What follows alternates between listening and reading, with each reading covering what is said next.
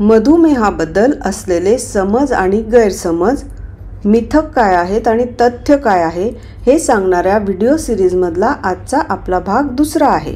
नमस्कार मी डॉक्टर चारुता कोपरकर. माझ्या चॅनलवर तुमचं परत एकदा स्वागत आहे.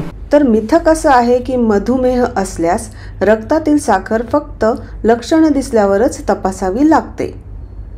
तथ्य असं आहे की मधुमेह असल्यास रक्तातील साखरेची नियमित तपासणी खूप महत्त्वाची आहे.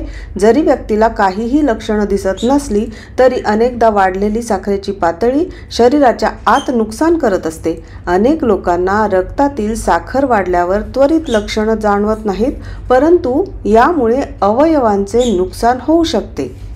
नियमित तपासणीमुळे हृदयरोग मूत्रपिंडाचे नुकसान किंवा नसांवरील परिणाम टाळता येतात. आपण घेत असणारे उपचार आणि औषधांची मात्रा पुरेशी आहे का याची पण खात्री होते आणि रक्तातील साखर नियंत्रणात राहते. म्हणूनच तुमच्या डॉक्टरांनी नियमितपणे रक्तातील साखर तपासण्याची शिफारस केली असल्यास ते करणं खूप महत्त्वाचं आहे. कारण साखरेची पातळी वाढलेली दिसल्यास वेळीच जीवनशैली आणि औषधांमध्ये योग्य बदल करता येतात आणि दीर्घकाळासाठी चांगले आरोग्य टिकवता येते. खालील परिस्थितींमध्ये सहसा रक्तातील साखरेचे प्रमाण वाढू शकते.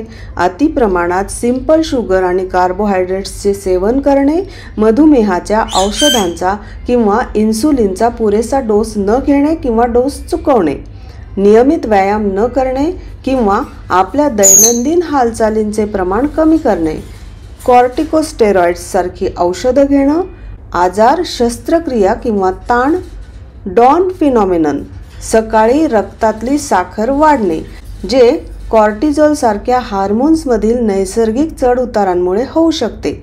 अति धूम्रपान डिहायड्रेशन पौगंडावस्था ही सगळी कारणं आहेत ज्याच्यामुळे सहसा रक्तातील साखरेचं प्रमाण वाढू शकतं.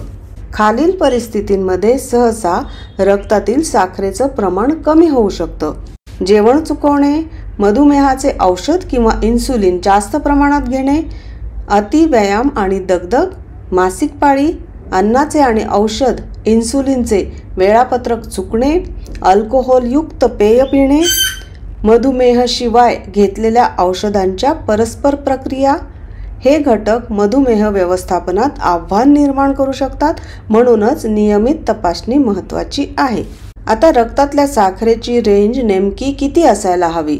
तर ह्याचं उत्तर असं आहे की रक्तातील साखरेची रेंज वेगवेगळ्या घटकांवर अवलंबून असते.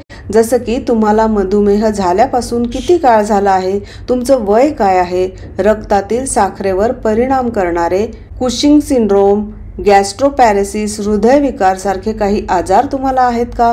न्यूरोपॅथी रेटिनोपॅथी नेफ्रोपॅथी सारख्या मधुमेहामुळे होणाऱ्या काही गुंतागुंत तुम्हाला आहेत का? किंवा गर्भवती असाल किंवा गर्भधारणेचा प्रयत्न करत असणाऱ्या महिलांसाठी रक्तातल्या साखरेची रेंज वेगवेगळी असू शकते. पण सर्वसाधारणपणे अमेरिकन डायबिटीज असोसिएशनने मधुमेह असलेल्या बहुतेक प्रौढांसाठी खालील रक्तातील साखरेची रेंज सुचवली आहे. जेवणापूर्वी ही साखर ऐंशी ते एकशे तीस मिलीग्राम पर डेसिलिटर असावी आणि जेवणानंतर दोन तासांनी एकशे ऐंशी मिलीग्राम पर डेसिलिटरपेक्षा कमी असावी. तुम्हाला व्हिडिओ आवडल्यास लाईक करा शेअर करा आणि माझ्या चॅनलला सबस्क्राईब करायला विसरू नका. थँक्यू